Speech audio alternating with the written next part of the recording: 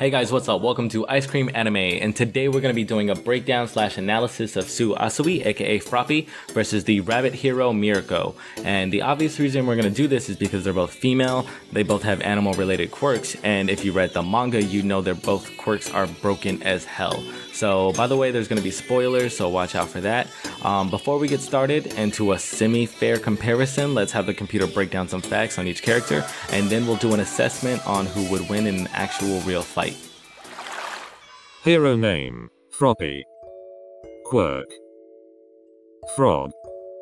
Sue's quirk allows her to do anything a frog can do, such as hopping long distances, extending her tongue up to a maximum of 20 meters, which is strong enough to lift an entire person's body weight, stick to walls, ejecting washing her stomach, secreting a mild, itch-inducing toxin, and camouflaging herself.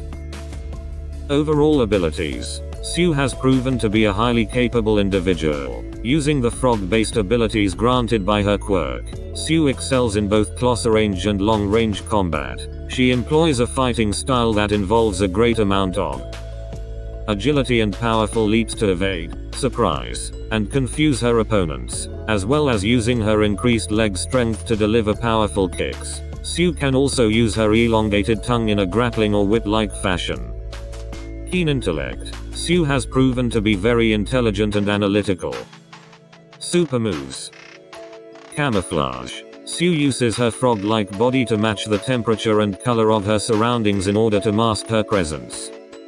Meteor Fafrotskies. Sue and Ochako work together to float debris and throw it at the enemies. Hero name. Mirko. Quirk.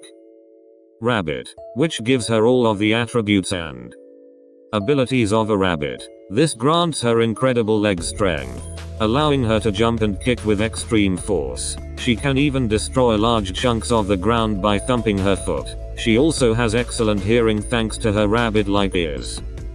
Overall abilities. As the number 5 pro hero, Rumi Usagi is more powerful than most other pro heroes. Her hearing is outstanding, as she was able to locate her target though minimalistic noise. She was also shown to be capable of multitasking, as she simultaneously attacks, dodges and concludes information about the enemies.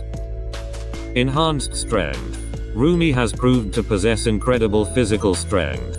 Remarkably, she was able to momentarily incapacitate some of the high-end Nomu and sever one of their heads.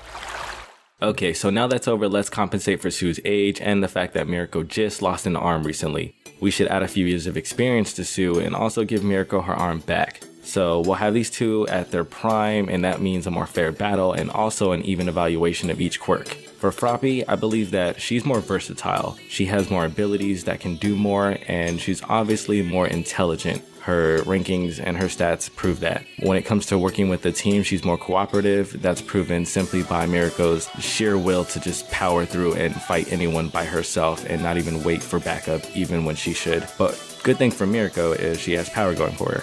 She also wins in overall speed and agility. So if it were a one-on-one battle, I think that Mirko would take it pretty easily. But if it were a team battle, I think that Froppy would probably have the edge. That's it. If you guys could go ahead and hit that like button and subscribe, I really appreciate it. And tune in again in the future for more videos.